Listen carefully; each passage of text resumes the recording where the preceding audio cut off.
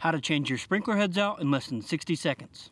If you've fallen victim to a broken sprinkler head, it's time to head to the hardware store and pick up a new head and any adapter fittings you might need. For this replacement, I'm using a half inch threaded 4 inch pop-up 360 degree sprinkler head and a riser extension.